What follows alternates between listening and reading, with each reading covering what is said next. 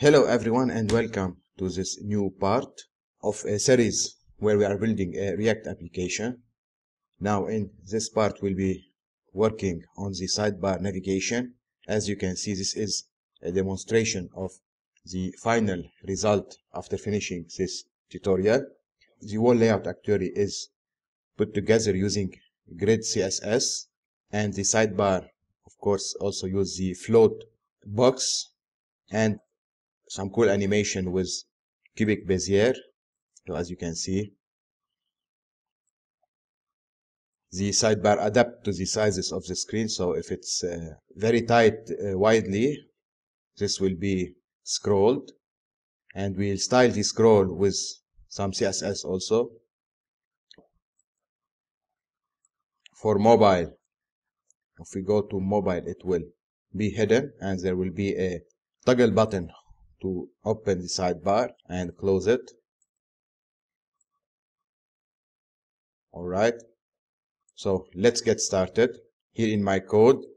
So first thing as a reminder if we look at our application now this is how we left off from our previous part. In our previous part we have created a theme with css variables. So if i open the global style here you can see we have created some global styles that contain variables some color variables some spacing and font sizes for the input also and the button. And uh, some of them were made responsive with the MediaMax query. So this is as a reminder. Now we continue the work done from the last part to create the sidebar that will use this variable and the color scheme here we specify now if I go to my component the first thing I will create is a layout. So I create a folder for the layout the header the sidebar and uh, in case we were we have footer. So I create a new folder. I will name it layout. Inside this folder there will be a file a component called layout.js this component will hold the wall layout so it will it will contain a wrapper div which will be like the container for uh, our website.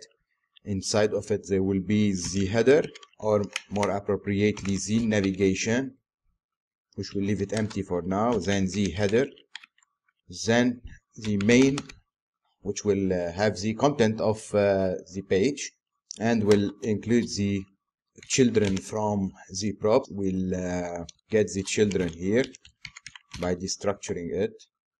Then we'll export uh, default the layout. Now here in the nav I will write nav bar. Now we already have created a header so I will move this header to the layout. All right. Then I will import the header in my layout from nearby the header. And I will use it instead of this header here. Now again if I look to my header this is my header here. So I will keep the tag header for now. And I will put the new header here. Here in my header I'll make sure everything is is work is correct now since I changed the location of the header I want to make sure the component app.js that use the header is pointed correctly to it. So here header dot slash okay. First of all we don't need in the component in the app.js anymore the header. All right. Since it has been used in the layout now concerning the layout we will use it not in the app to rob the war application because some pages like the sign in page don't need a sidebar. Here I have the component. I have the folder for the UI I. Will create a new folder for the pages. Here I create a folder called pages. Now in the, in the page I'll move the sign in and we have also the book details and the book list so we have these three components I'll move them to the pages Now some other errors will pop up concerning the path names. We will fix them. Plus we will add a page called home.js which will be the home or dashboard something to fill in the place of the landing page after signing in. So we'll create a function named home. It will return. Now here we will start start using the layout for the first time. It will return a layout. Component slash the layout and layout. Here we'll use the layout. Now inside of the layout we'll put an h1 with welcome to Booklib welcome to actually I will change the name of this application from books to store. It will be welcome to store lord.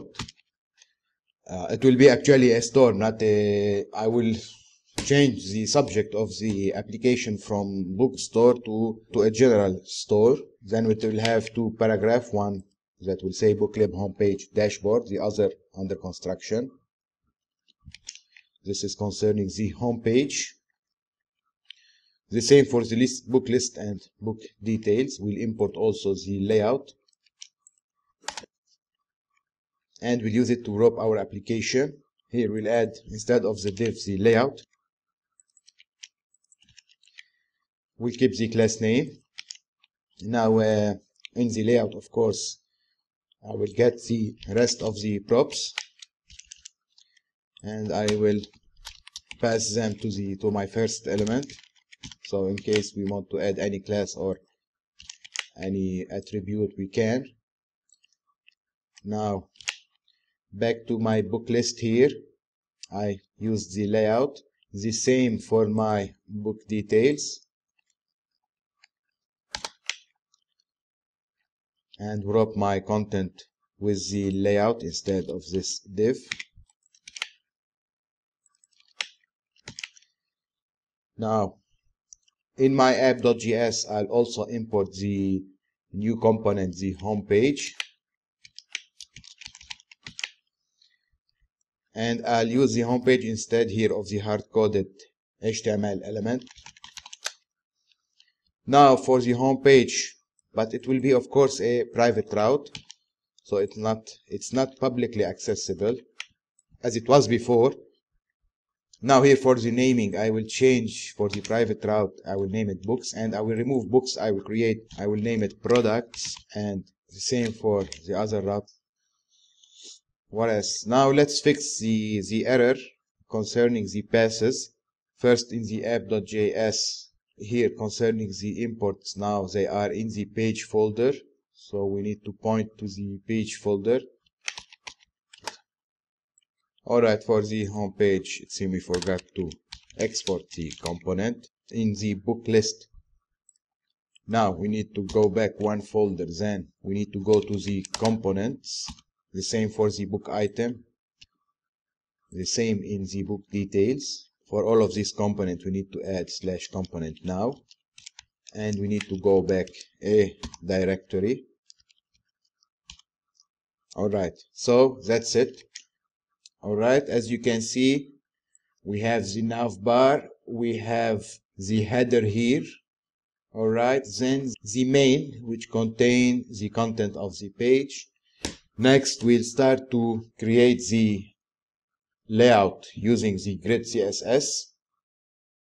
Now here we have the nav element and the header and the main stacked vertically. So to illustrate here is what we have. They are staked vertically and wrapped in a div. Now the result that we want is this. Now to create this uh, layout, we will rely on the grid First, we will add to the wrapper display grid, which will create a grid and the element here will be grid items. Now by default, they will be stacked in rows, so the display won't change. Next, after creating the grid, we need to specify the columns and rows for the grid. So let's do this. first I will style the wrapper by importing the styled from styled component I will create a new component I will name it grid that will contain the style so it will be equal to style dot div inside of it there will be display grid. Now as I told you this will create a grid. If I go check my browser now nothing will change. So they will be also stacked vertically in a rows. To change this I need to create columns. So I can use the grid template columns to create columns now I can provide them 1 FR or uh, 150 150 FR is a is a is a fraction which similar to flexbox it will automatically create portions. So here we are saying divide it into two portion. Then we'll have the grid template rows which also will be let's say 1 FR 1 FR so it will be a grid with two columns and two rows. We'll apply the grid instead of the div. Now if we check our browser we will see we have our grid here which contains two columns and two rows. Now each item will fill the rows. Then as you can see the navbar fills the first row the header the second the main the main go to the second row and fill the first column and the last column is empty now this is good but we need the navbar to fill two rows here. As our layout suggests the navbar will fill two rows. So let's do this. For the navbar to fill two rows we need to set some rules to the navbar so we'll create a component to replace the navbar which will be grid nav and will be styled dot nav so to specify the area of the nav.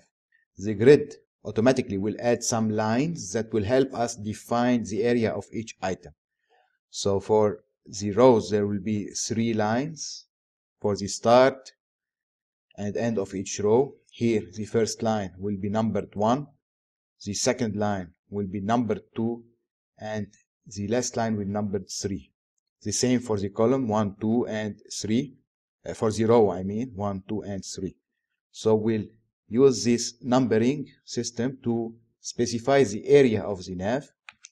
Now here i can use grid column start to specify the start of this item. So it will start with 1 and grid column end.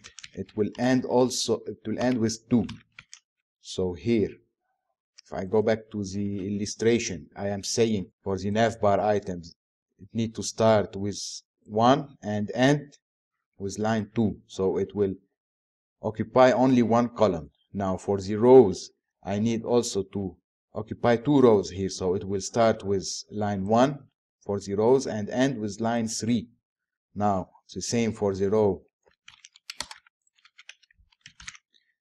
Start 1 and end 3 first I need to apply this component instead of the nav. Now if I check my application here it is. We have the nav bar that occupies two rows. Now there's a shorthand for this. For the column there's the grid columns which will take the two values of the start and end. So it will be 1 slash 2 we can make sure that the layout stays the same. And the same for the grid row 1 slash 3 all right. Now here concerning these numbers I can use some keyword like span. Here instead of naming the third line I can tell it to span to line. So this will span two line so I will get also the same layout now there's also a shorthand for all of this which is grid dash area which specify all these values now grid dash area will start with uh, with row start, then column start, then row end, then column end, all separated by slash. First, we'll set the row start, then the column start, then now the row end will be span 2, and the column end will be 2. So this is similar. We'll have the same layout. All right. Next, we need to work here on the uh, area sizes on the template of the column and row. As the illustration show, what we need is for the first column to fit the size of the nav bar. The next column will take the rest of the space of the available space in the window. Now for the row, the same way. It will fit the header and the second row will expand the rest of the window. So to specify this here in the grid template column, we have a keyword that say min dash content. Using the min content, the first column will fit the size of its content. The next is 1fr. It will fill the rest of the window, whatever the content are. So here, if we go back to our illustration, in the first column, we have the nav bar. So it will fit whatever the nav bar size is. And the second column will take the rest of the space of the window. So this is for the column. As you can see, now I am free to set the size of the nav bar to whatever I want. This layout will give me flexibility to set the size of the nav bar the way I want. So here what I can do for the nav bar is set for example a width of let's say 250 pixel. The, the grid will adapt because of the min, min content we have set here. Now for the rows, now for the rows it will be the same min content then 1fr So here, what we are saying, for the first row, fill the content. For the second row, the size will be the rest of the uh, window. Here, the, for the first row, it will rely on the header. The first row will take the header. So let me set the height of the nav bar now to be 100 view height, which will fill the wall viewport here. All right so as you can see the nav bar now fill the wall height of our window but the grid adapt to this situation by keeping the first row to fit the content of the header because the nav bar sp span into two rows so it will rely on the header now what I can do here is use a shortcut the grid template which will take the row then the column values, replacing these both these two rules. Now there is different syntax and way. For example, the grid template support another syntax, and the grid area also support another syntax. Now, the syntax I want to use is grid for the grid template is this the follow. Now, as I explained to you here this line or these delimiters are automatically generated, but we can rename this line to anything we want. So here instead of one, we can name it nav bar start or nav start. And here we can name this nav end. For the header, we can give here header start. A line can have two names. And here it will have the header end. For the columns, for the row, the same way also apply. To change the name, we use the brackets and put the name here. I can type row dash one dash start and here I can name row dash two dash end and I can give it two names actually. Row 2 and and row 2 start as you can see and and the same way continue for the rest and for the column 2 this is how I change the name of the rows and these names I can use them for example to specify here instead of using the number one I can use the name row one start but without the of course uh, brackets I can use this name. It will be the same instead of the one I use custom name. Now the one still apply. Let me show you now. I added some couple of names. If I go, I go to my app all right.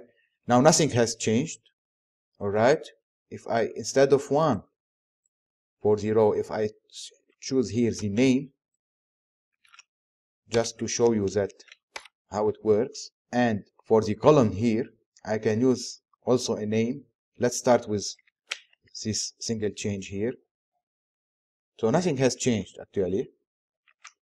So I can also rely on the name for the here for the two. This is zero here. I can for the span you need to give it a number. Thus I can get rid of the span as I told you and specify the line that it need to end now here it need to end in line 3 we haven't specified the name of the line 3 I can type here row dash end. I can name it whatever I want. And here I can specify the name row end. And we get back our layout. So as you can see naming worked as expected. Now I'm explaining you about the name to show you one thing. Here what I want to show you is concerning the, the grid template it has a second syntax all right which rely on the area name. Now the area name is different than the line name. Let me show you. What you can do you can name the area. I can name this area here nav bar and this area I can name it header and this I can name it main. What will happen implicitly is when you name an area for example let's say we name this nav bar this line will have the name explicitly will be set in names. Let me show you how we can do this. Inside accolades I can set names here. Let's say nav and header then nav then main right? I will explain you what here is happening. Let me put them in a way more clearer. So this is our layout if you put them like this you can see that we are creating two rows each row has two columns now each time we need to create a row we'll add another set of columns delimited by quotes and separated with a space so here we're adding two rows each row has two columns. Now, for the first row, it will have two columns. The first column will have the nav, the second column will have the header. Now, for the second row, it will also have two columns. For the first column, it will have the nav, and for the second one, it has the main. Here, I removed the grid template, which will remove the sizes of each column and row.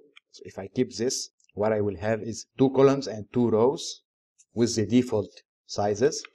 Now, this grid template also support the sizes here. Now for the first row, I need the min content.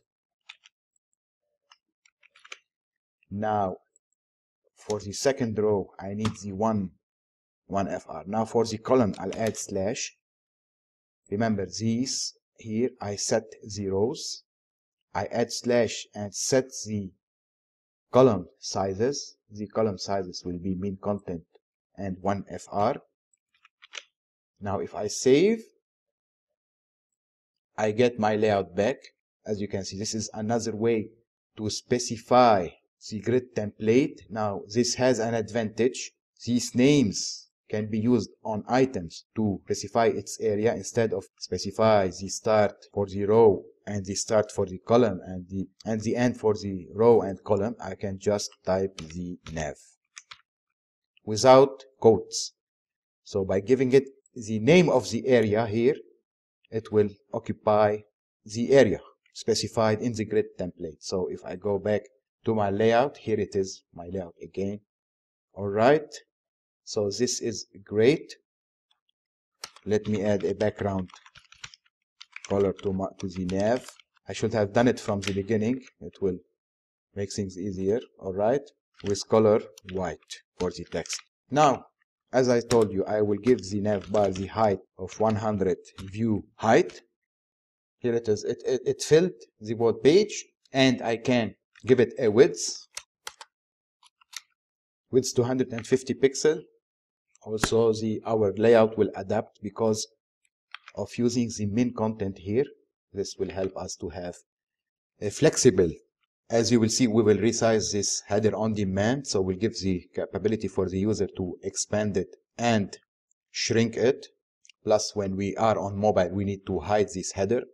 This all will work perfectly with our current grid template. Let's set the other grid items. So we'll create here grid header, which will be styled dot header, and we'll have the grid area to to header the same for the main grid main I will replace the header with grid header the same for the main alright now for the content here I will set the min height to 100 view height now the same here I will make it min so if I go to my browser and check the application. One thing I wanted to show you here is concerning the nav. The grid area is nav. This is a shortcut for the grid row start, grid column start nav, grid, grid row and nav, and grid column and nav. So again, what specifying here the areas will do is will set the name of the line surrounding uh, this area to nav, nav, nav. All right. Now, I will create in the layout another component. It will be called navbar, which will contain the content of the navbar from the menu and the logo and this stuff. So return now a style nav that will be creating it shortly.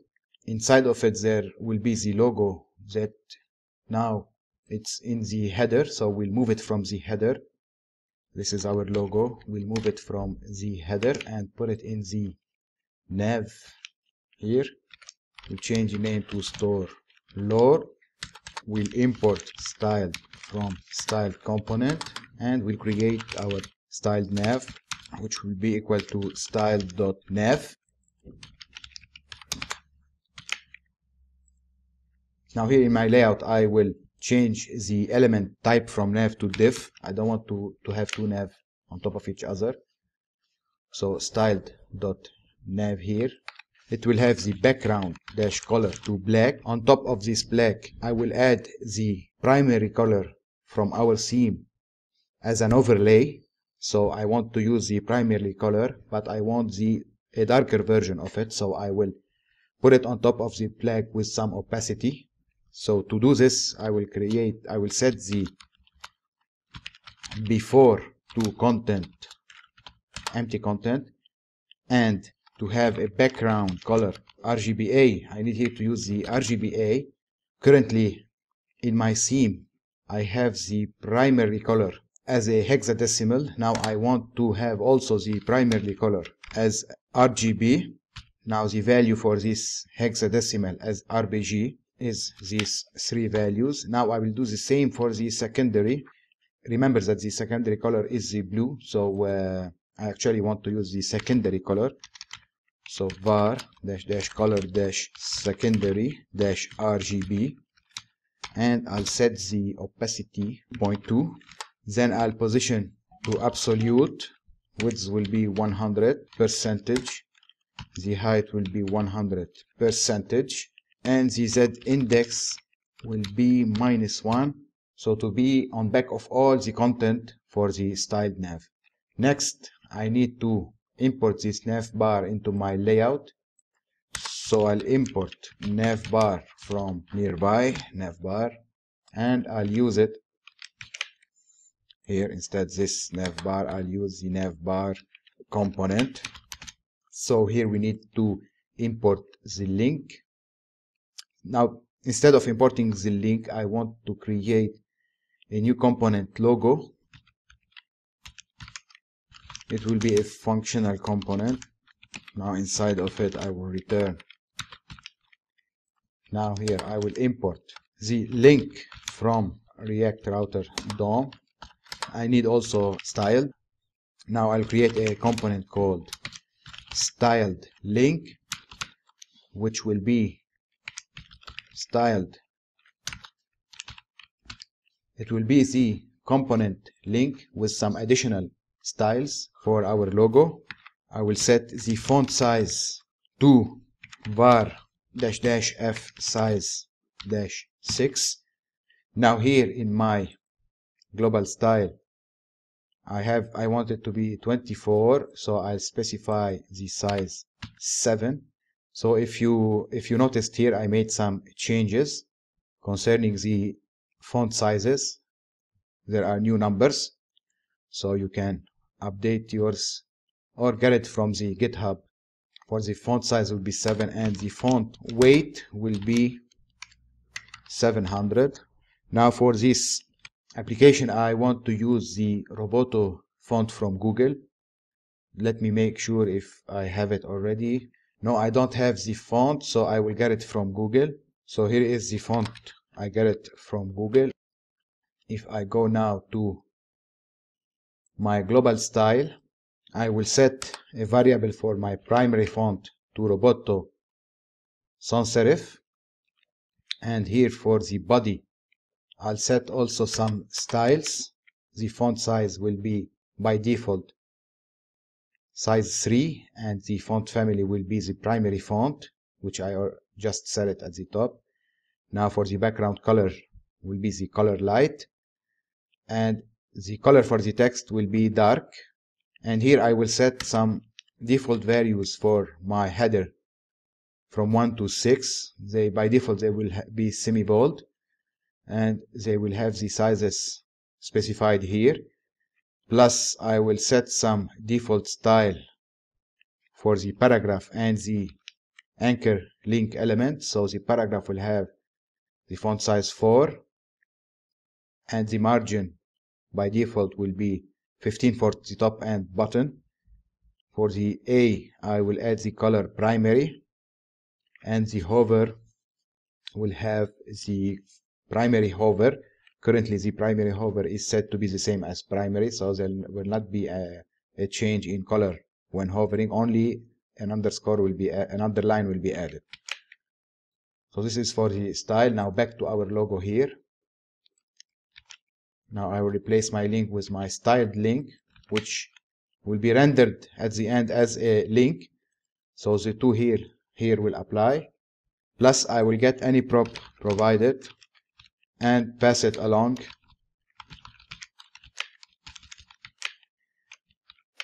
Plus I will add set the color to the primary color. Then I will set the minimum height to 48 pixel. The display will be flex and it will align item center. So vertical align will be centered. I will also add some padding. The, the left will be 25 and the right will be 20 and a border a border button a light white border. Plus on on hover I will remove the text decoration for the link which is set by default in my global style. And that's it. Now in my nav bar I will import the logo. Now before importing the logo I want to actually change the place of the logo here in my directory. So in, in the layout I'll create a folder with the same name as the nav bar which contain any component related to the nav bar. Inside of it I will put the logo. Here I will import the logo from navbar slash logo and I'll use it instead of here the h1 element here for the nav bar I'll set the width to 250 pixel. Now for this width, I will store it in my global CSS here. I will set the width for a nav bar, a variable for the nav bar. It will have the 250 pixel value, 265 pixel value. Now if I copy this and in my nav bar, I'll use this var, so the user have control in the width of the nav bar. Now in my layout I will remove the style added to the nav bar here. For the color and background I will remove it and I will copy the height and paste it here for the nav bar alright now I'll add position relative. This is important for the element before to be relative to its parent. So here because it is position absolute now the absolute will be relative to the nav to the nav element. Here the problem is that I'm setting the z index to minus 1 but uh, for the parent element there is no z index not even here in the layout. I can do it here in the nav bar. Z index I can add it. 1000 all right. It work. At least it has to be 1 all right. Next we'll work on the responsivity of this uh, nav bar. So when we are at a screen lesser than desktop let's say lesser than let's say 900 for example this will be this here the sidebar will be hidden. If we are more then it will show. Now once it is hidden we need to add here a button. The button here will serve as a toggler to toggle the sidebar open or hidden. Now here in the header I will add a button that will toggle the nav to show it or hide it on the lower resolution if the resolution is lower than 920 pixel. So first I will go to my global style and I will create a variable that will hold my breakpoints which will have the desktop breakpoints which will be 920 pixel for now, we have only one breakpoint. Now I will use the breakpoint here below in my media query. Instead of specifying a raw value, I will add the, the variable breakpoint. Now here in my header, I'll create a grid. So we will have a grid with three columns. Now the first column will be the button. The second column will be a like a, will act as a spacer to separate both of the button and the user information. So it will fill whatever space is available here. So for the button, it will have the size, the grid item will have the size of min content. The same for the user info will have the size of min content and the middle element will have the size of 1fr which will occupy the rest of the space. So in my header first, I'll make sure I have three element for the grid. Now the first element will have the icon. Here we'll use the font awesome. The other div will be, will uh, have a class of mid. Will be empty for now. Maybe later we'll add something, but for now will be empty. Now I will remove here the welcome below and the slash. Don't, don't want the slash. So here I'll import first uh, the style. And I'll create the constant grid. Now the grid will be will replace the wrapper div for the header. First we'll have a display of grid then the grid template columns. As I said will have a three columns. The first one will be main content the second will be 1fr and the last one will be also min content. So if I have a look now in my browser here I can see my grid now I'm having here an element additional element that is resulting in the creation of uh, an additional row. Uh, this is the divider element. Now I will remove this element. Now the header will have height of 48 pixel and for the align item we'll have the value of stretch. The here we are speaking of the item of the grid. Now by specifying align items to stretch the height of each item will stretch to fill the grid which has a zero which has a height of 48 pixel. And I will add a padding 024 for the left and right there will be 24 pixel padding. And for the child which are these divs now here for for the link. Actually here we don't need to check for the user anymore because the header now is part of the layout which is only available for private routes so now here we are sure that we have the oslot uh, the user now for the div element, I will display as flex and I will specify the item align center. Now each div will be displayed as a flex and each item inside of it will be centered vertically. Here is our header. As you can see, they are centered vertically. And I will uh, I will add here a rule for the button. I can specify the white space nowrap which will prevent the roping on white space. So here I have the sign out that doesn't rope on space. So great. Now I need to add the toggle function for the header here which I'll send it from the layout. So the header will have the a toggle function as a prop and here on click I will call the toggle function now for the desktop size, I don't need the bars here, only will be available for resolution lesser than the desktop. So I will first import the breakpoints object. I will import it as BP for short from global style and I will set here a media query. This media query it need to be applied only for the first child. So I will select the first child.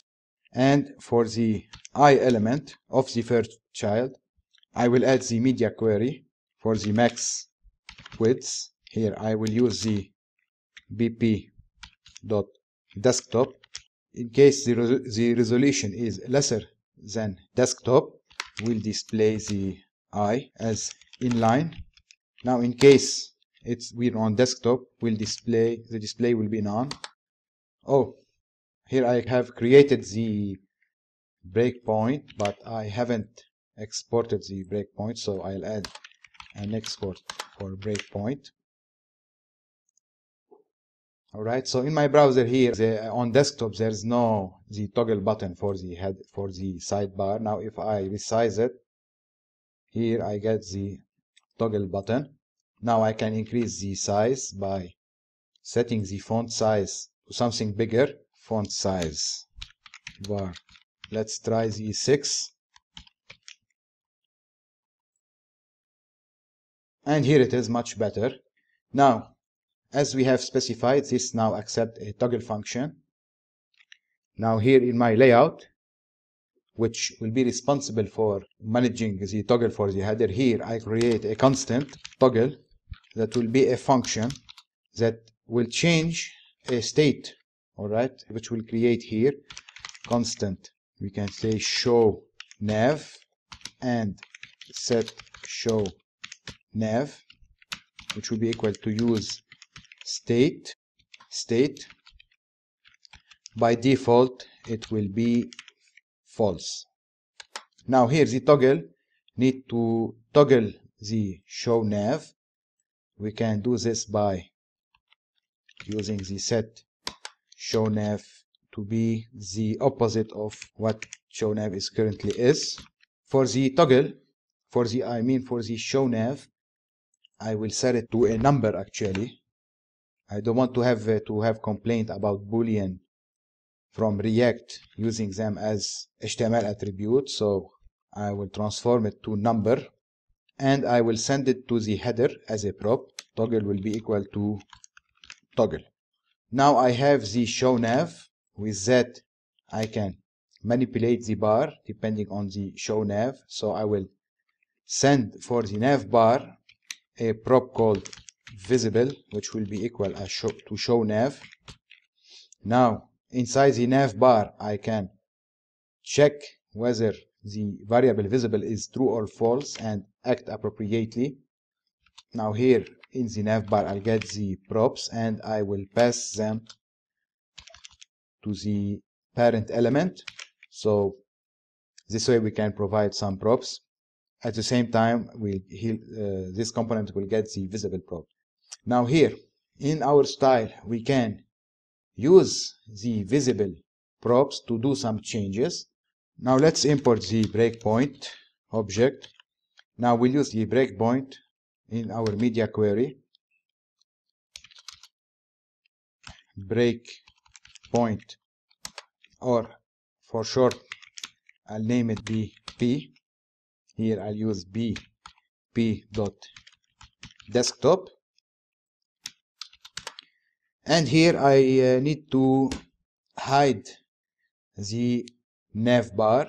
I'll set the position to fixed and I will add a translation that will slide the nav bar out of the screen from the left side of the screen. So position will be fixed and the transform will be translate3d. It will be minus. I can I can put here any value. Let's say to 60 pixel 0 0 now here we have an issue. We can't use uh, the var navbar width because we have here the minus sign. We cannot just use it like this not even uh, if we add a space. So what we can do we can add it like this and use a calculation. All right now we can with the calculation to get the negative value of the this variable we can subtract the variable multiplied by 2 all right this way we get the negative value of navbar width I don't know if there's some solution in CSS that will that will give us the negative value of a variable all right now at desktop I am seeing the nav bar. Now if I go to iPad or mobile the nav bar will be hidden. So now we have the sidebar hidden. All right. Actually now on mobile it is hidden but in case the user clicked on the toggle button here all right we need to show it. So here we are getting the visible variable so we check the visible variable here by sending a function that receive the props as the parameter and checking for prop for p dot visible. Now if it's if it's true if it's if visible is true so we so the sidebar should be visible. We'll set the translate 3d x to 0 else we'll set the minus calculation. Of course we'll put it inside the quotes I guess this is it. So if I click the alright it will open.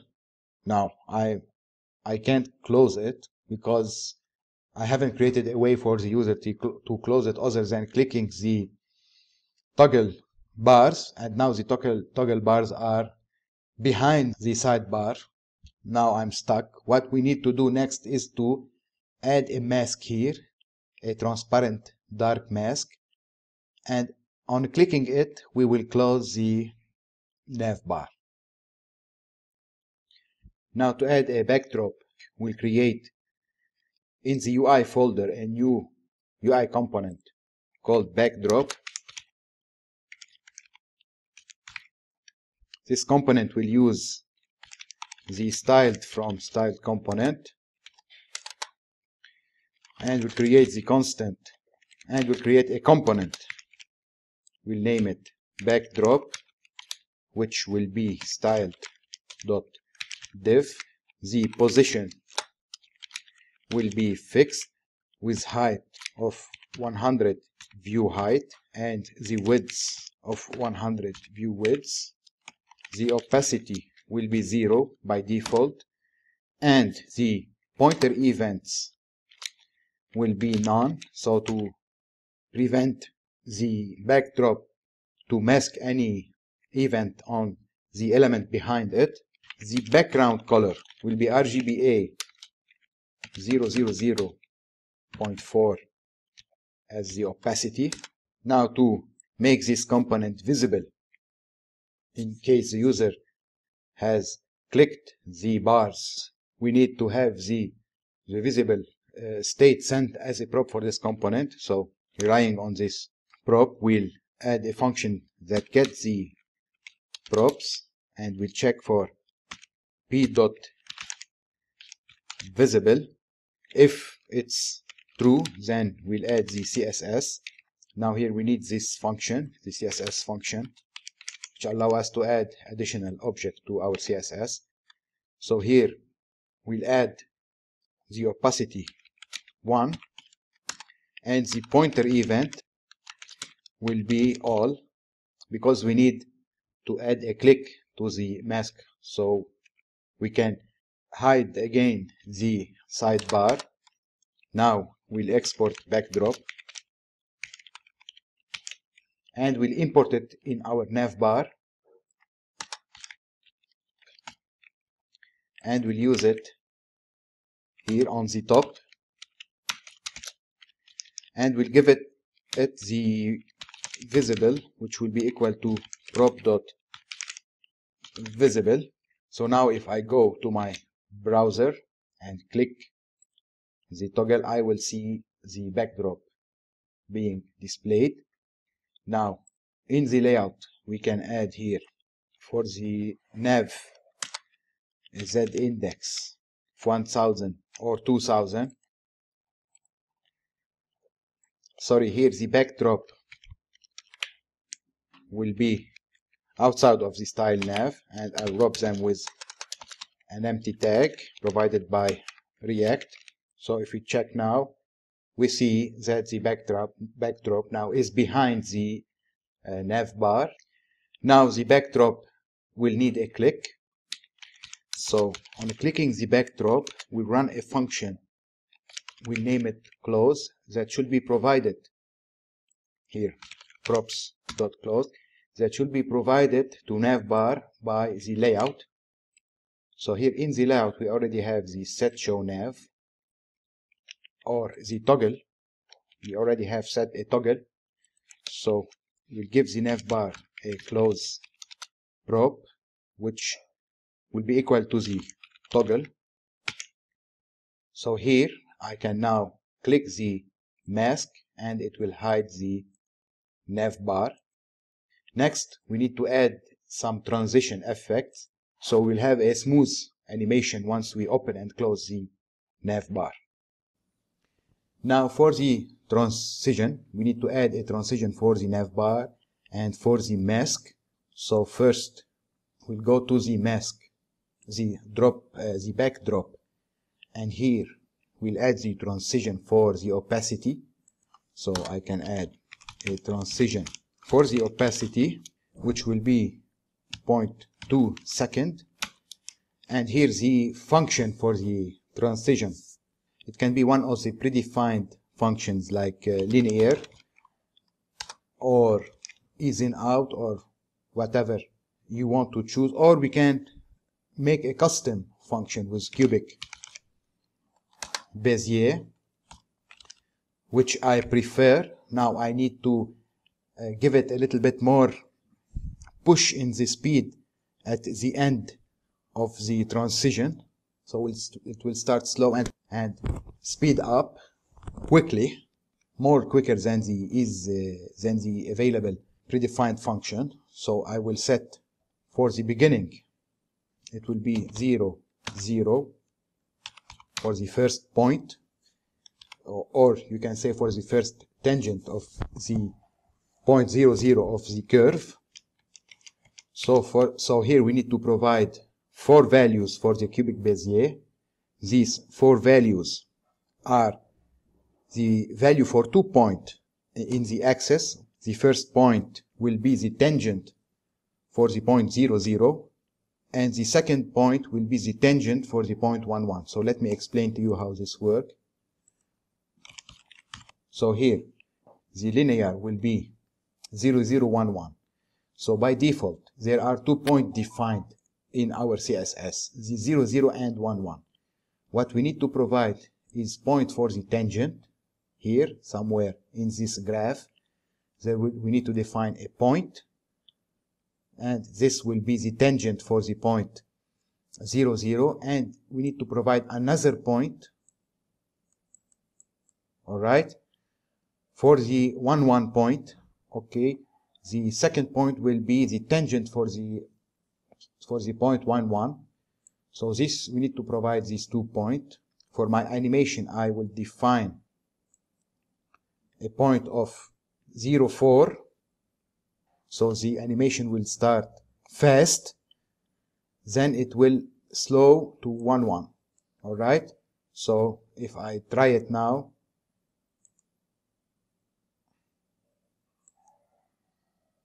it will start slow then speed up. But in our case here it is for one second. We have it for 0.3 second. So if I put it for it will be like this. This is our function here.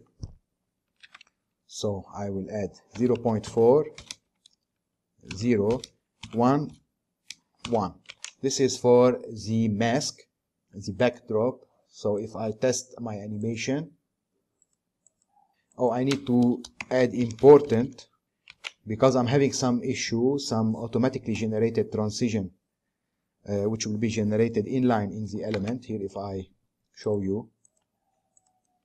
This is my mask. Some style here will be automatically generated by the style component. I haven't yet figured out why how to prevent this. So I'm adding import to all my transition so as you can see here is my our transition animation. The same we'll add for the backdrop in my nav bar. Here below I will add a transition for the transform. Also I'll use here I'll use here cubic Bezier. Now here I will use different values for when it's open and when it's closed in case it is closed I will use the 0 0 0.21 in case if it's closed so I need here to add a condition by adding a function and returning the value dependent on the prop variable. So here the function will get the prop and I will check for the prop dot visible. So if if it's visible I will add the cubic Bezier same as the backdrop 0.4011 I put this into quotes. I forgot to add the important. Now back to my application. Here is my transition. As you can see it will start slow but on the close the start is quick. All right. Now before moving on working on the content of the navbar one thing i want to mention is concerning the uh, css grid. Here we have used the grid template to create our grid template. Now there is another syntax which is the grid. Now the grid support the syntax of the grid template. In additional with grid you can define the value for the implicit grid. Implicit grid is the auto-generated grid. So here in our case we have two rows with two columns. Now what what happened if we added a fifth item to the grid?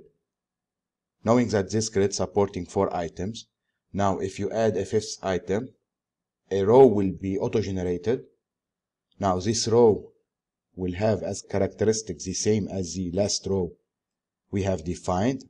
So it will have one FR as the value and it will have inside of it two columns with min content and one FR. Now we can change this behavior so we can say with CSS that any auto-generated row we need it to have 100 pixel and let's say with two or three columns or we can change the general flow of the auto-generated grid item. So for example if we added here the fifth element instead of having a new row we can say no create a new column. Now why I'm explaining this? Because to tell you that grid support the syntax of the grid templates that we were using before in additional with grid you can set the auto Uh, generated or implicit grid now why use grid instead of template in here in our example or in general because with grid the auto generated or the implicit grid will be reset the value will be reset so if you have a parent element that define how auto-generated rows, how they need to be generated. Now, using grid will reset this. For our example, it's not a big deal. Nothing will change because this grid is not wrapped in another grid. But, but always it's safer to use grid. This is for the final piece uh, of information concerning the grid. Now, let's get back to our navigation bar and let's start adding the links now here we have only the logo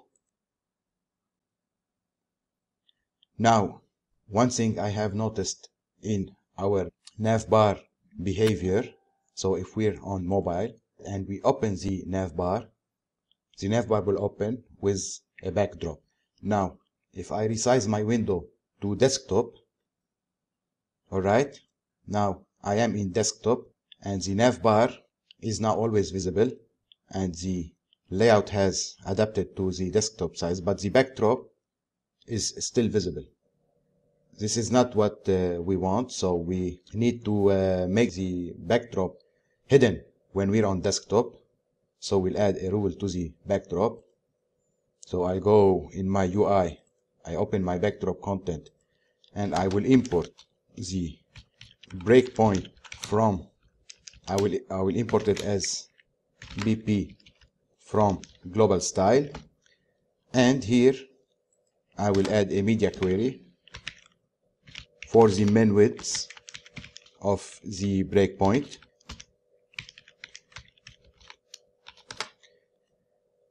Again I will hide the backdrop. So if the resolution is desktop or more than desktop the backdrop will be always hidden. So if we test now now I close. All right I close I open the nav bar. then I resize my window to desktop. All right the backdrop has been gone. Now let's get back to our navigation bar and add the links. Now for my links I will import the link component from React Router DOM. So here I will import. And with the link I will create my links here before creating the links first I will explain to you something concerning the uh, layout of the navbar now the navbar will contain two type of links a, a global or prominent links there will be two or maximum three and there will be the application or the service links. So these links will be more. For example, uh, there will be five or 10 or maybe even more. So we will need two section, actually three section, one for the logo, the other section for the group of links related to the application services or sections. And we will have a prominent global links here at the bottom. Now, concerning the group of links here in the middle, they will expand to fill the wall spaces left after the logo and the global links have occupied. And this middle section that contains the group of links will be scrollable. So if there are more links than the available space, this section will be scrolled by the user. To create this kind of layout, we'll be using Flex here Let's start by creating the links now. As I told you, there will be a group of links which I, which I will wrap them with a div, with a class navlink group. Inside of it, I we'll put some links that have an icon. We will use font awesome for the icon. And the uh, label will be wrapped in a span with a label class. Here we'll add for example a products link. Another link will be for customer order now we'll add the two. This will be two slash products. And here will be two slash let's say orders. Now here one more thing I want to say. I'm getting the link. But uh, for this uh, case here we need to get the nav nav link. Because we need to have an active class to change the style of the active link so I will import nav link as as link. So nothing will change in our DOM here. Next we'll have the global uh, links. So here we'll have a settings with fa cog for the icon slash settings. Another link will be for example and the router will be let's say feedback. We can see that for now the links are placed as an inline items which is normal. Let's add some styles to the styled nav that wraps all these elements. Now as you can see we have inside the styled nav one two three four items. So we'll add here in our styled nav. So display will be flex and the flex direction will be a column. So now if I save I will see actually they are stacked in columns. Remember that these two links here are grouped in a div. Now for the nav link group what I can do is also add display uh, flex and flex direction column.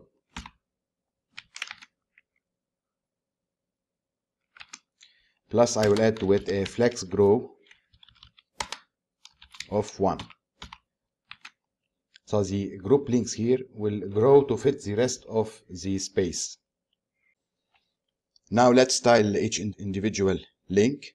So now concerning the link I will create a component for the link that will contain the style of the link instead of putting all the styles here. The same for the navlink group. I will extract a component that will handle also the styling. Alright so here in my layout navbar folder I will cre create a new file component that I will name it nav link. Of course it needs the styled from styled component. And we know in advance that it needs the nav link as link from react router DOM. Now here concerning the content that will be returned we'll copy what we have in the nav bar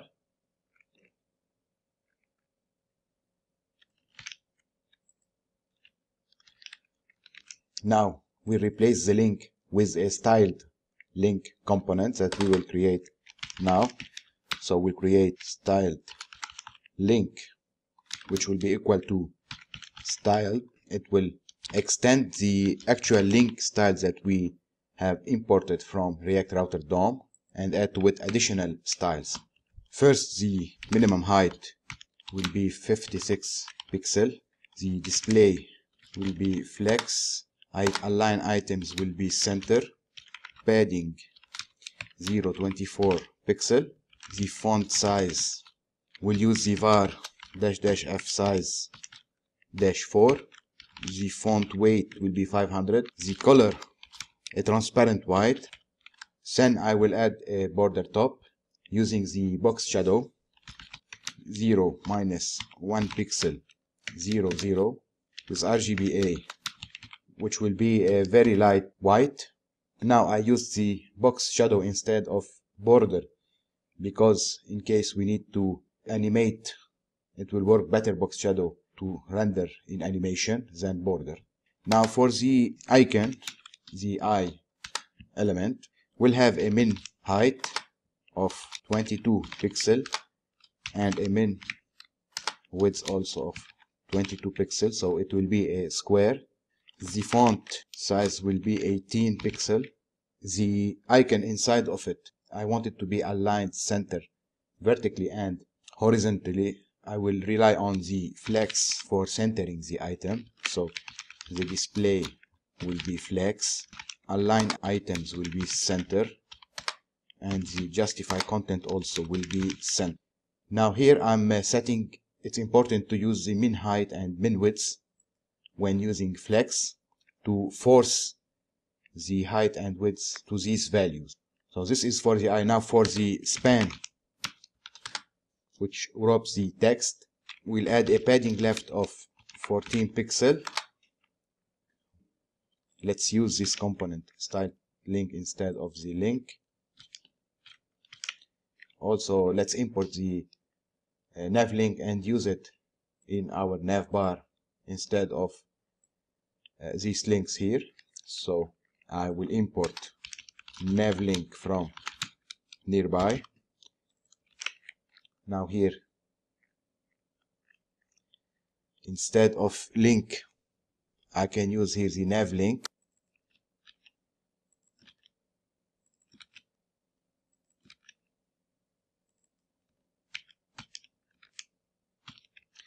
Now I need to display the children of the nav link. So what I will do in the nav link I will get the children and an icon name variable and a label. To be more precise it will be an icon class name and a label. Then I'll put the rest of the props in a variable called rest. So I provide it with the rest of the props. Now here I will check the children in case there is children I will display the children. Else if there's no children I will display this as a default layout.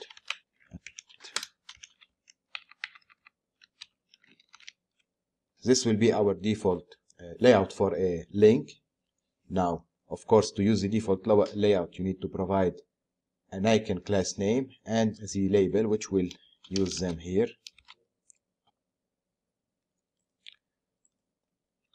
so here we'll uh, remove the link since we are not using it. So if we go to our browser right we can see the style start to look good. Now we haven't done yet with the with the links. What I want to do is use the default layout here. So I will provide the icon class name which will be and the label products. I'll do the same for the others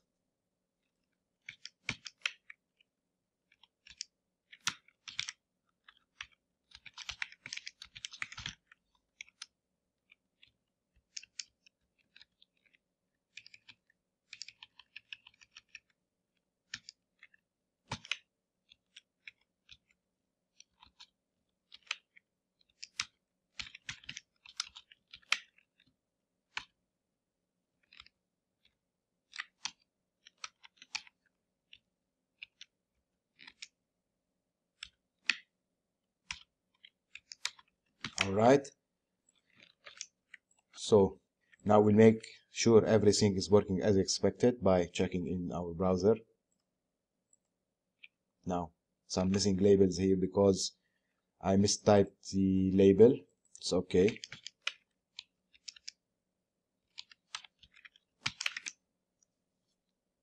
And that's fantastic.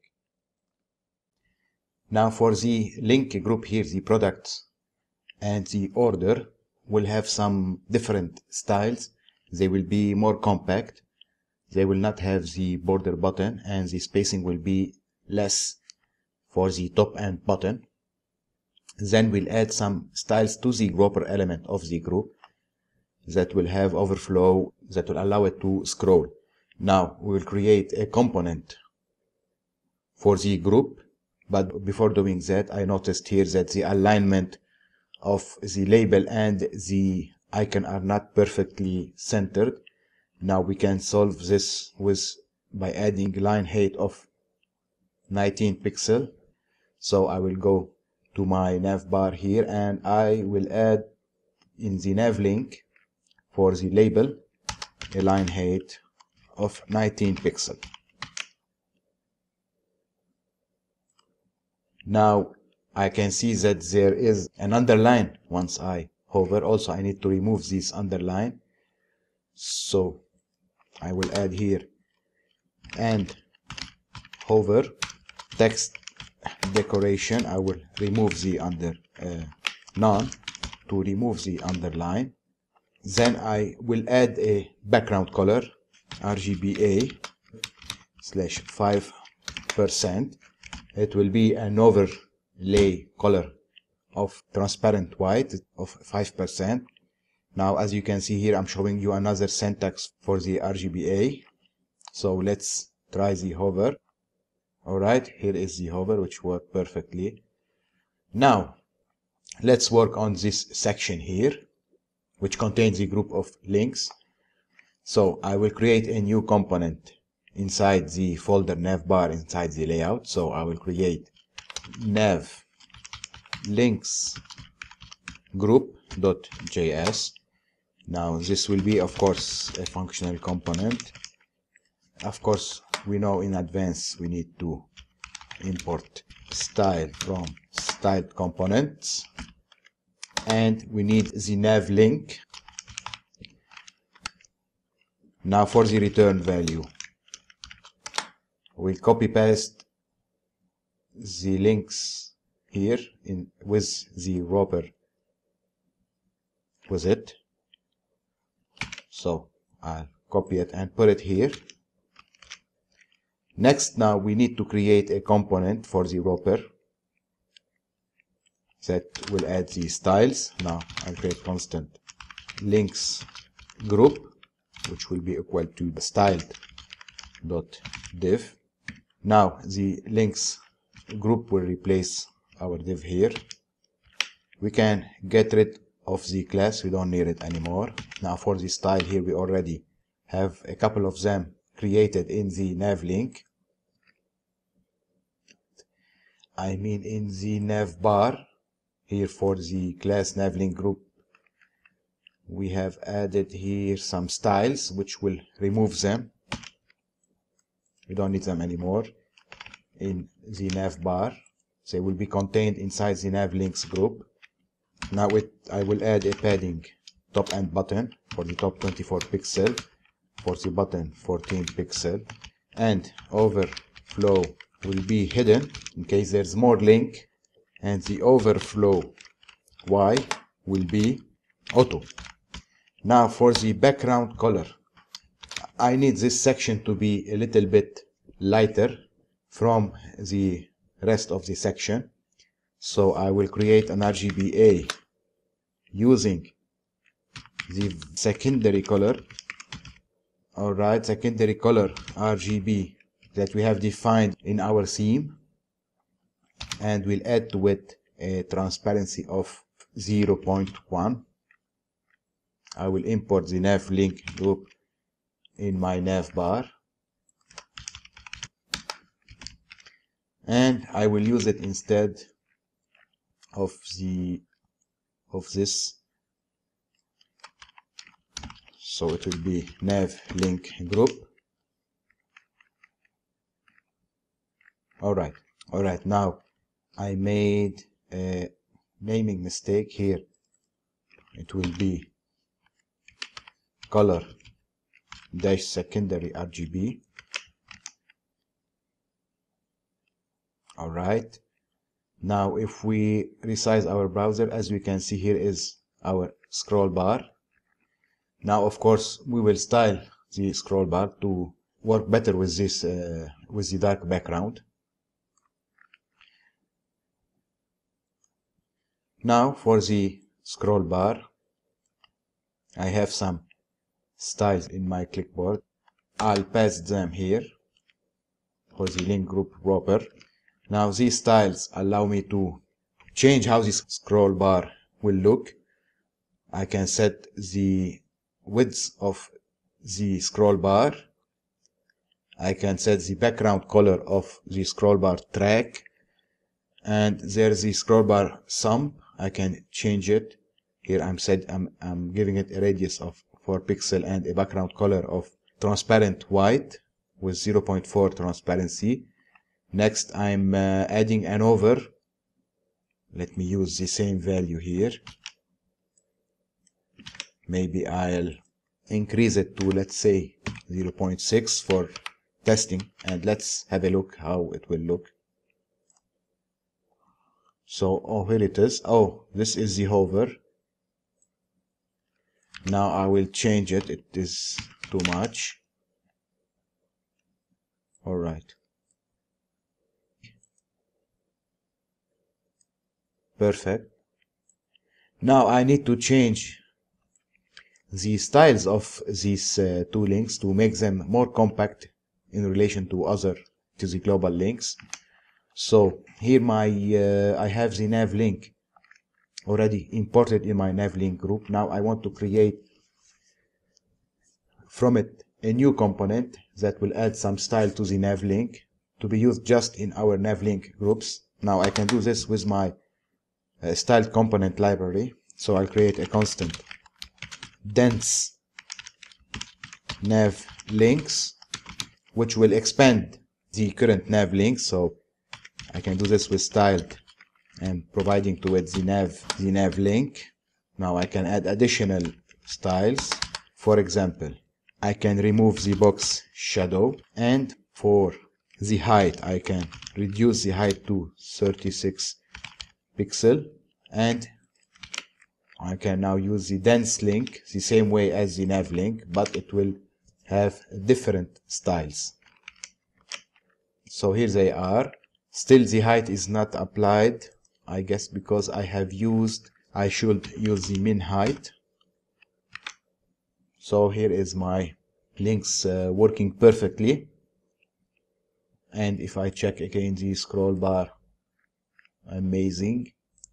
Now next we continue working on the nav links. Now for two links everything is okay but remember you should be expect to have like 10 or uh, or more links and this current solution is not is not uh, flexible for more links. What we'll need is what we'll need is to create an array that will hold the information for the links from the label to the icon to the route and we'll map through it uh, here in the uh, render function. So we'll create here a constant which will I'll name it links. It will be an array of object. Each object will contain the information for a link starting with the 2 for our for our first link it will be slash products. Then we'll have the icon which will be fas fa dash box and last thing is the label products. Same for the second link.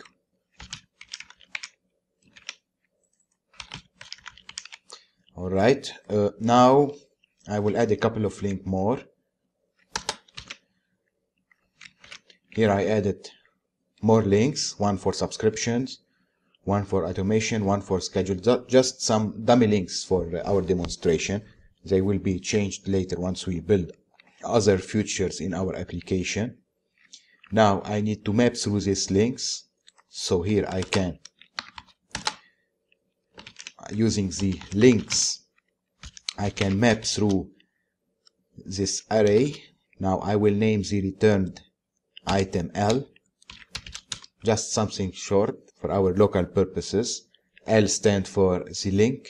Now what I want to do is for each item I need to render this component and use the property of the object to replace the values of 2 so the 2 will be l dot 2 icon again l dot icon. Same for the label l dot label. We need to add a key. The key will be l dot 2 then i need to do one more thing here. I need to get the props for this component and pass them to our links group component in case we need to send any prop to this component from uh, its parent. So now I remove these two links. And I should expect uh, one, two, three, four, five links now on the screen. All right, here is my five links. Perfect. Now, concerning the links, we can extract this link and put it, for example, inside the, the nav bar. Another solution is we can put it in its own file so it will work as a configuration for the navigation for our purposes at the moment I'll keep it here. Now uh, here concerning the scroll bar it is good all is good but it's somewhat uh, annoying that is sticking at the far edge of the wrapper of the link. So what I will do I need to add a 2 pixel spacing from the right. So I will go to my nav links group and I will add a margin right of 2 pixel. So here there are some spacing. It's uh, it's much better. Now everything looks fine concerning the uh, this page. Now if I go to another page let's say products page this page is longer than the other page. Now if I scroll down what will happen? Uh, the, the bar will scroll with the content and will disappear and this is not a good experience for the user. So what I need to do is I need to this bar to be sticky. So when the user, the user scroll it will be always available fixed on the screen. I can do this very easily by changing the in my navbar component. I can change the position from relative to sticky and set the top to zero so it will be sticky at the top of the screen.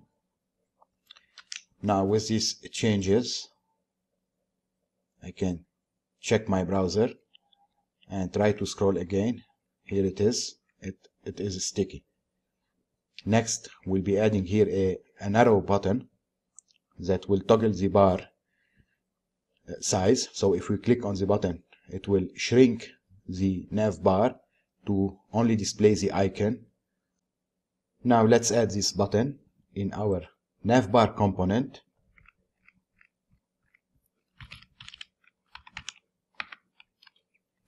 with a class nav toggle. Now this button will have an icon, an arrow position to the right at the beginning or left I guess it position to the left now if I check this button how it look in my browser here it is. It's uh, it needs some styling which we'll we'll add it shortly but first we'll add the compact functionality. Now we need a, a, a piece of state called compact that will track whether the navbar is compact or not. So we'll create here the state compact and set compact. It will be to use state. By default it will be zero mean uh, false. Now here the compact I will send it to the styled nav. So it will have a props called compact which has the value of the state compact. Now using the compact value here I can change the width of the nav.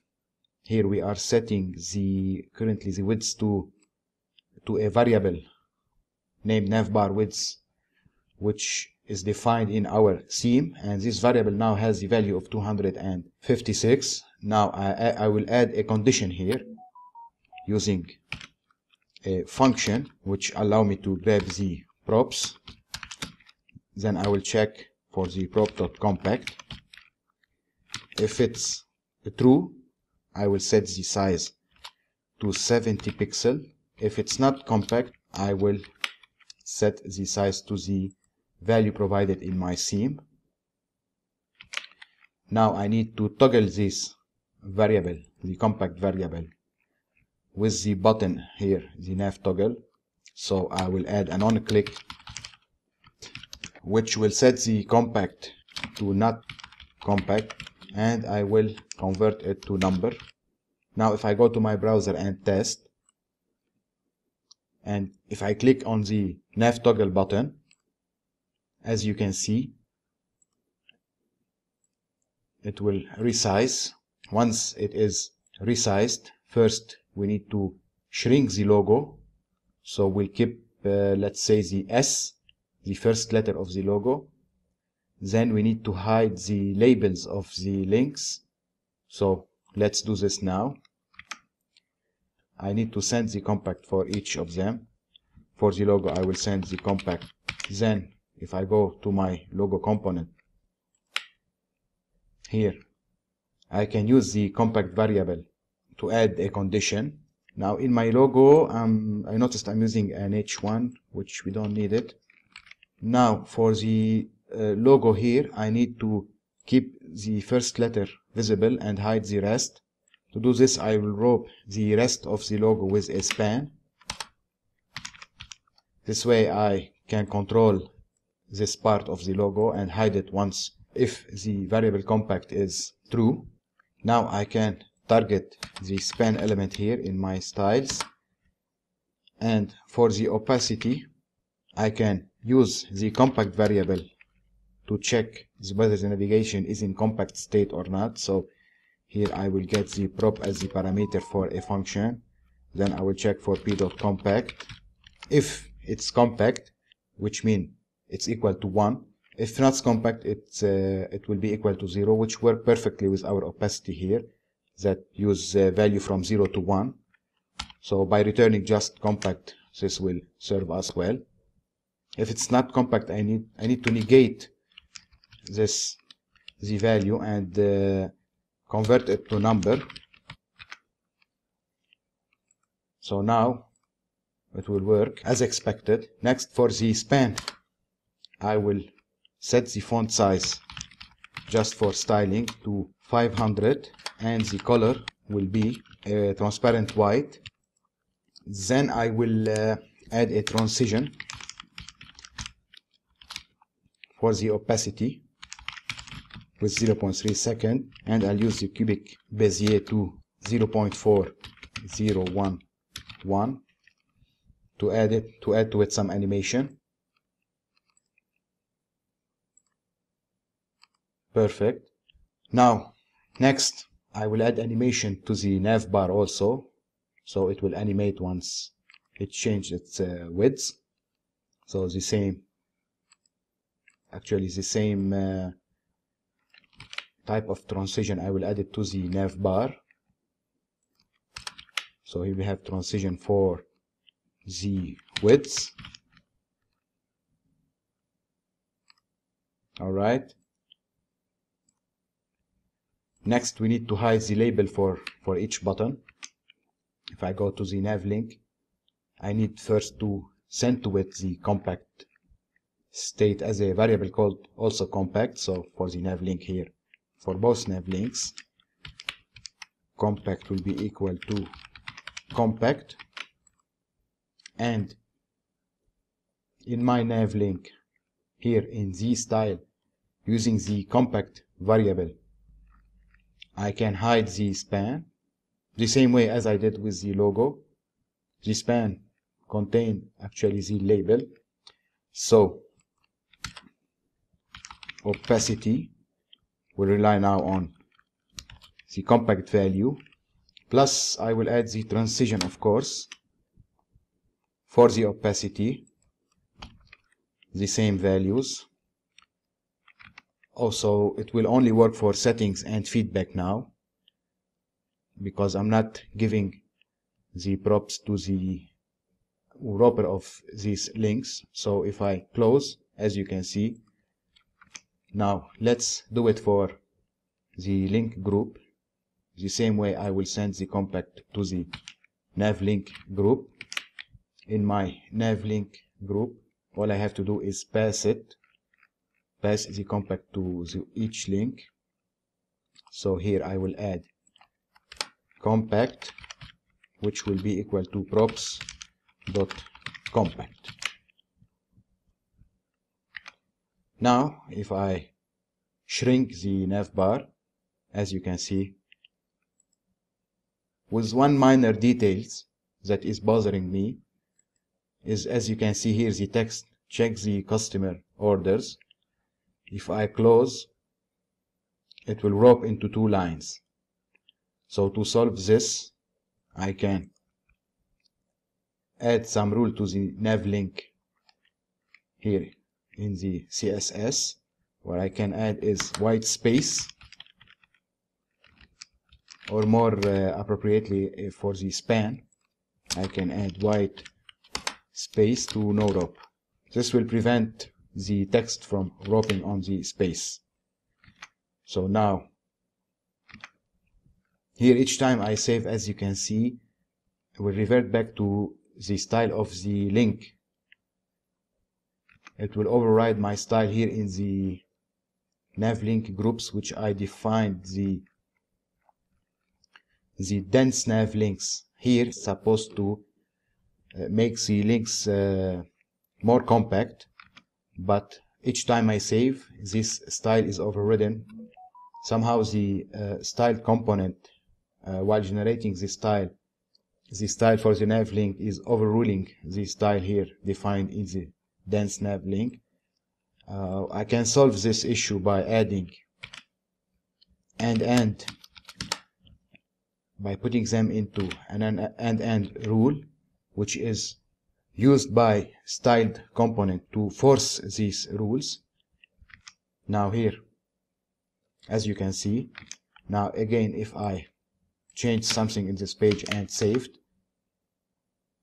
Uh, the rule will still be applied concerning the compact rules. Alright now if I closed everything is working perfectly. No wrapping for the text.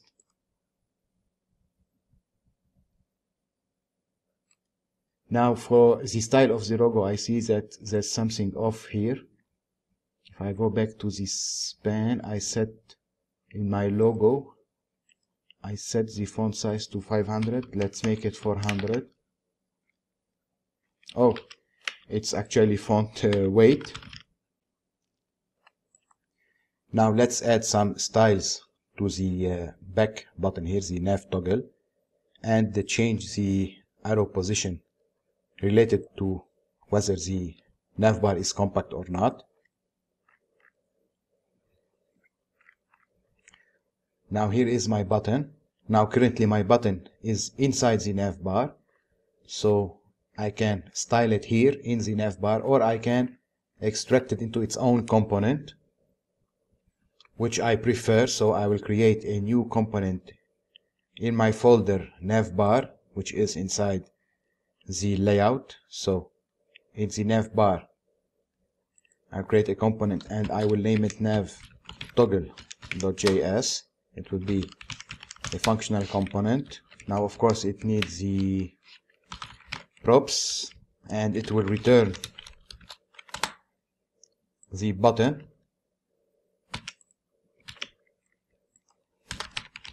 now I need the styled and I need to receive from the prop both the compact and the set compact.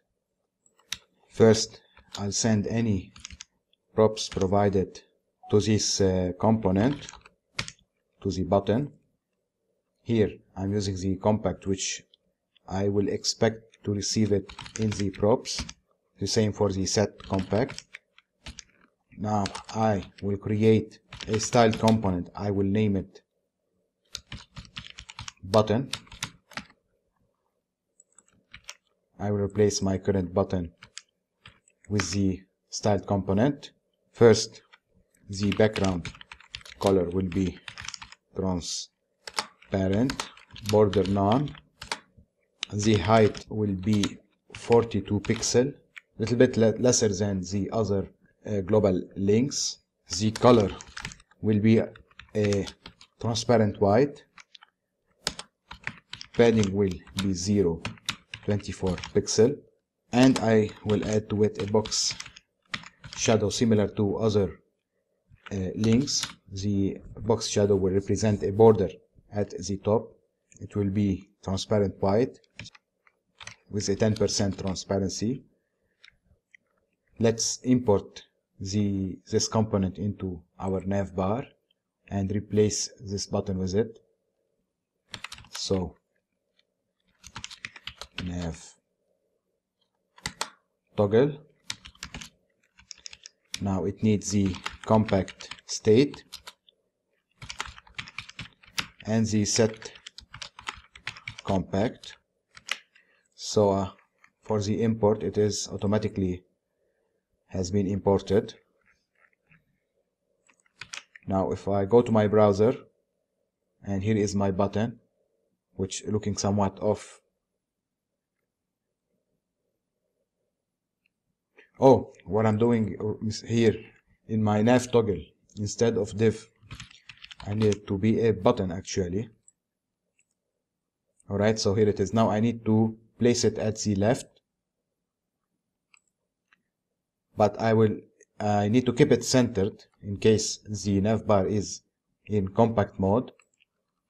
So I will add text align and I using the compact variable.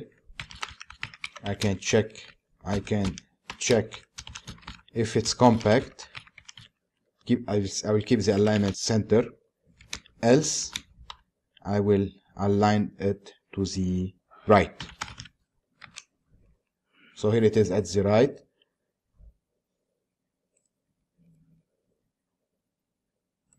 I guess that's it for the toggle button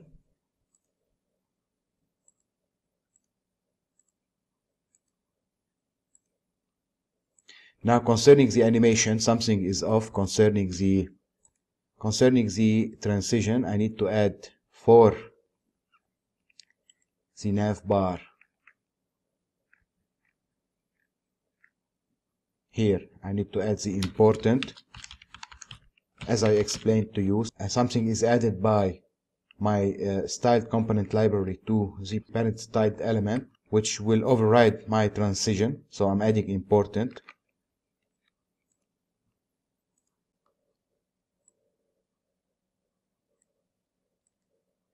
alright now one more thing I noticed here when I set the navbar to the compact mode. Now uh, what I need to do is to disable the flex grow on the uh, middle element here on the group of links. So they will all be stacked uh, together. Now I will go to my nav link groups. Now concerning the flex grow I'll add a condition for it with using the dollar compact sent by the props. So I will return p dot compact. So if it's if compact is zero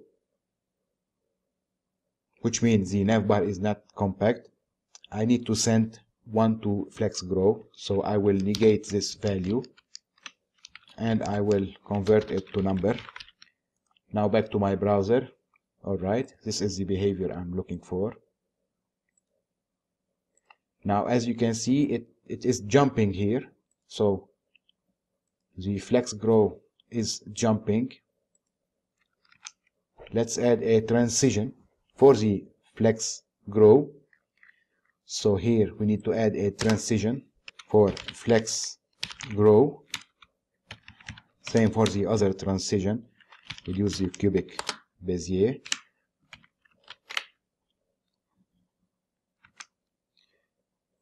Now it is better.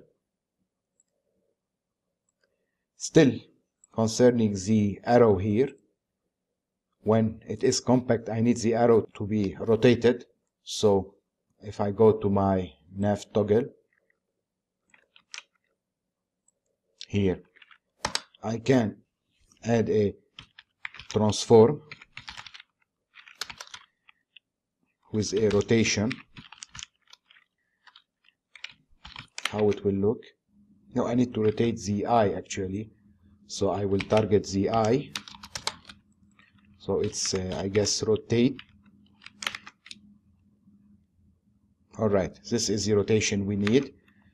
Now by default it will be 0 and in case if it's compact so I'll check for the compact variable.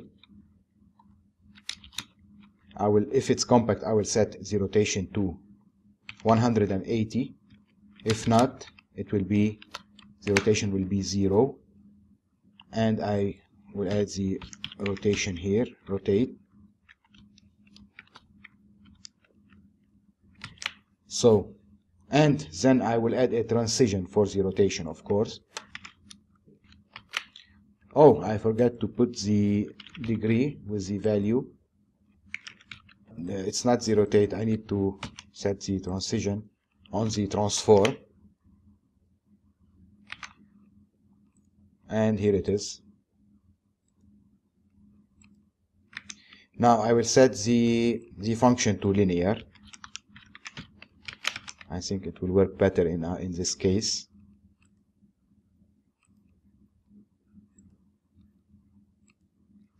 all right. Maybe I'll make it faster.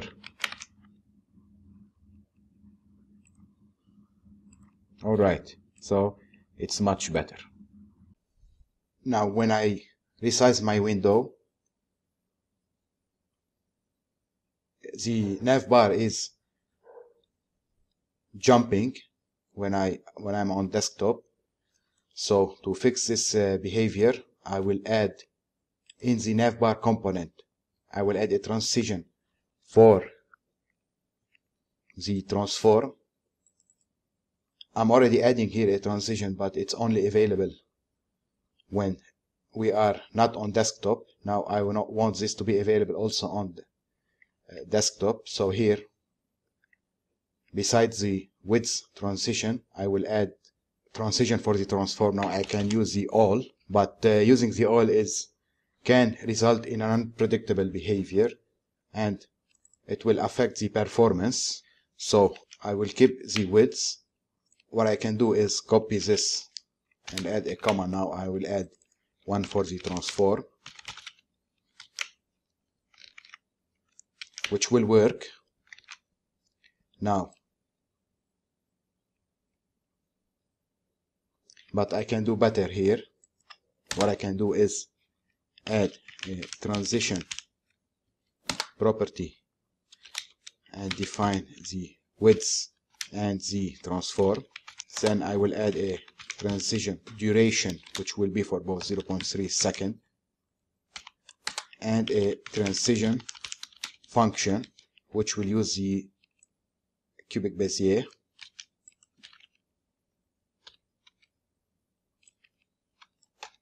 and I can add important for the timing function. Actually I need to add important for all of my transition.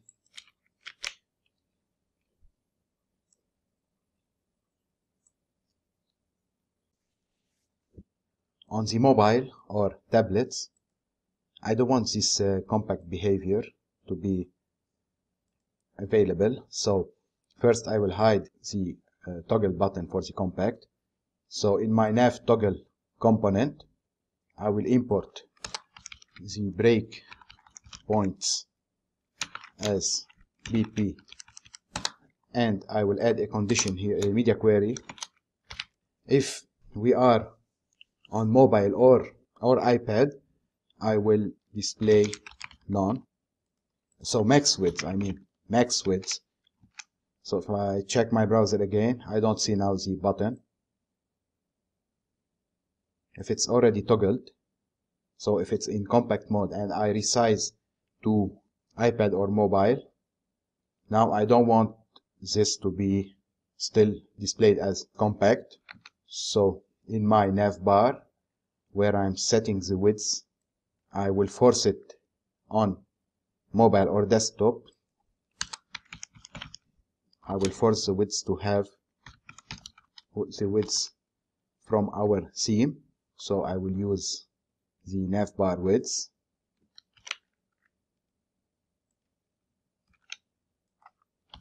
So this will override the 70 pixel here in case if it's compact. So the width applied. Next. Now in my nav links group I will add a media query using the breakpoint specified in our theme so here I will add add media for the max width I'll check it against the bp dot desktop if we're on mobile or iPad I will set the flex grow to 1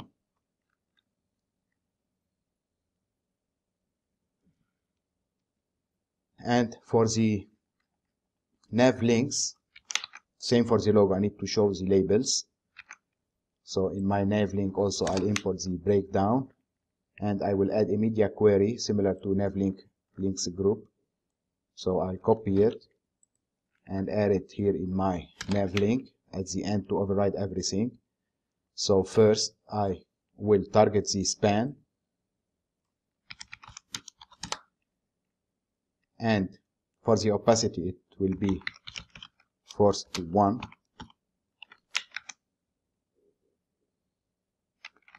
the same for the logo. If I go to my logo I will add the media query at the end and I will import also the breakpoint SBP now the span opacity also need to be 1 all right. Now if I check it that it works fine. Now if I go to my desktop and if I am in compact mode and resize to mobile now the compact mode is disabled concerning the nav bar we are almost done so everything is working as we want.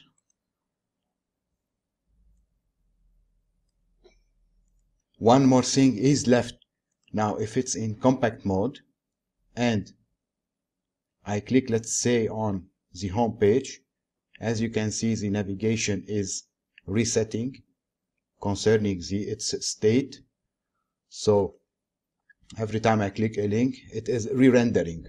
Why? Because we have made uh, a major mistake here concerning the layout that holds the header and the nav bar and the main content. So we are using this layout here on each page. And those page are route components. So each time we are clicking a new link the page are re-rendering. So we don't want this behavior. We use the layout inside every page because some pages like the sign in page don't need a layout. That's why we have imported the layout for each page but this behavior seems to be not efficient. What we will do we will remove the layout from each page and add it to the app. Now once we are adding it to the app it will be applied to all our pages including the sign in page. So in this case when the user is in the sign in page the user is not authenticated and this is a problem for our layout which includes the header and the header need information from signed in users. Plus we don't want to show these links for user who is not logged in.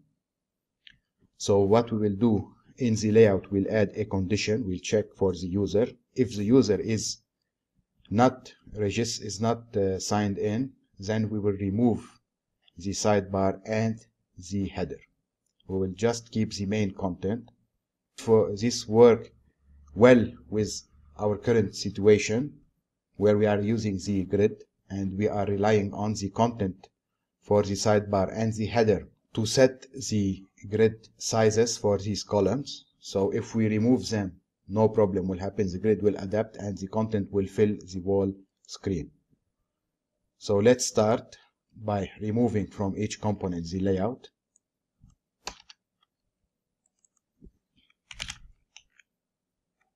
all right. Now in our app.js we'll import the layout. And we'll use it to wrap the our switch here. So we'll use the layout.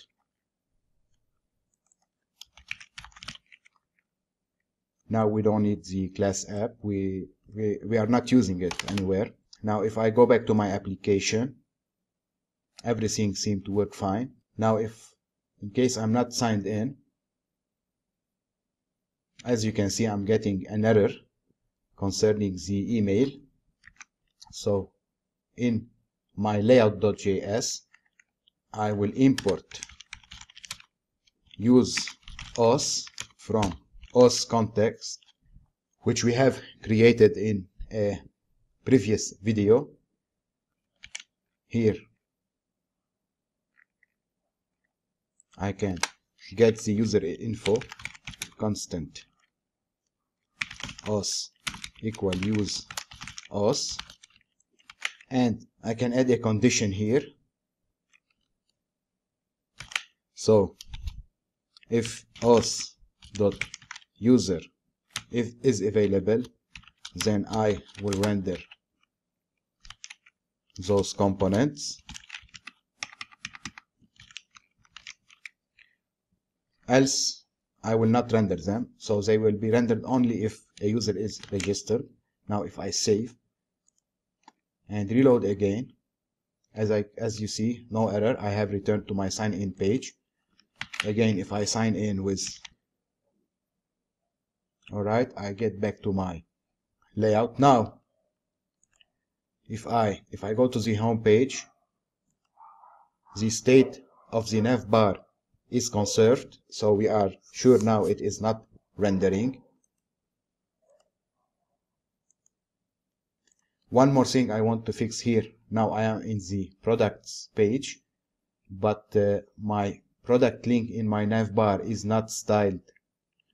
The active state has no style so we'll fix this now. Remember that we are using the nav link from react router dom.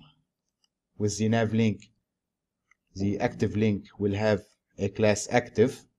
I will rely on this class to style our active links here in our component. Nav link we'll check for the active class. If it's active we'll color it with the primary color.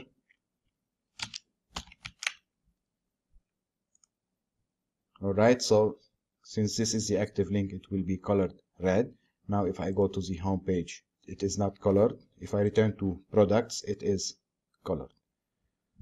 Now in my as you can see here we have some error in the links. So so I will go to my book list and I will fix the link naming. Now we are changing the links from books to to products. So here in my book item I will change it to products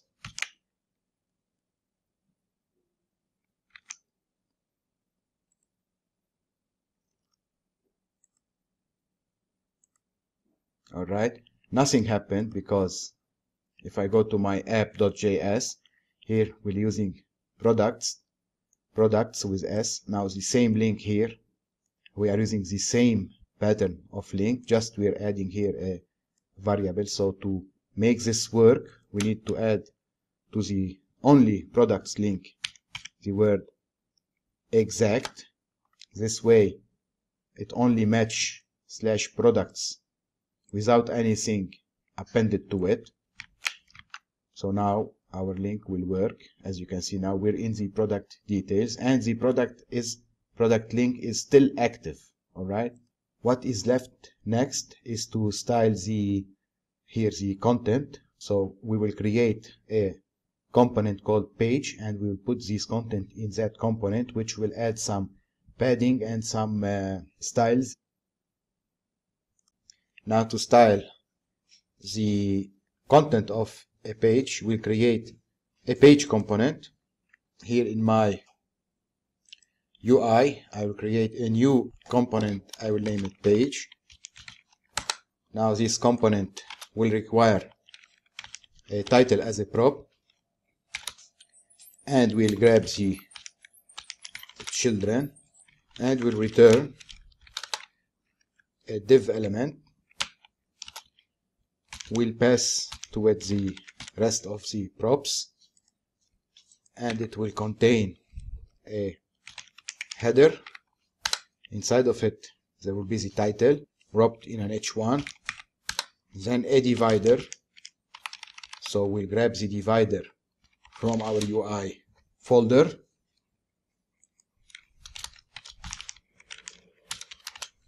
Now here we'll use div because we already have a header we'll have another div for the content which will display the children. Now we'll import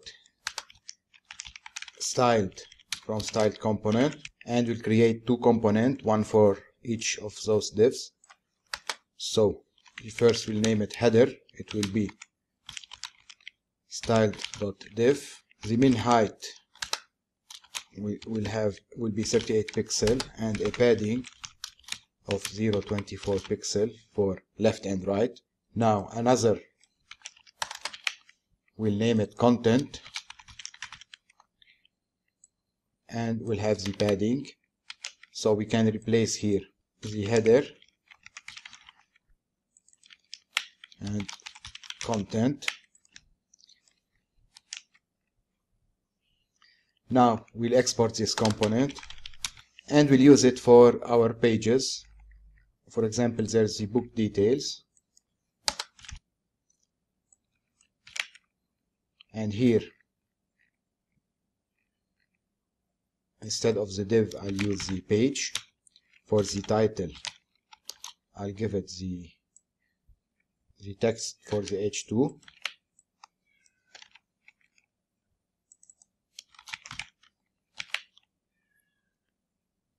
the same for the book list and for the home. Now for the sign in to. Now if we check our browser now we have an error here. Divider is not exported from the slash divider. This is in the page. Oh.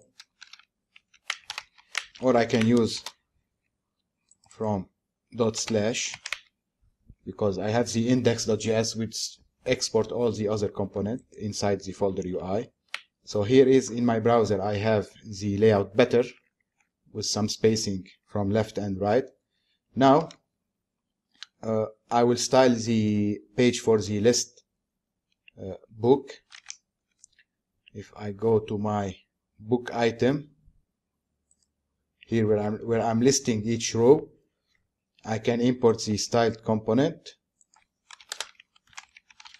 I'll create a constant item. Now I will create a display of grid. The grid template columns will be will use the repeat repeat 3 1 fr so it will create three columns with a size of 1 fr we'll add max width of 700 pixel padding of 10 pixel a border bottom it will be black light uh, black so uh, 0 0 0 slash 50 percent.